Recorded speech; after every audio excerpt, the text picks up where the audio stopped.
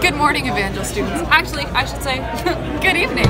Welcome to my campus. This is my world, and everyone is just living in it.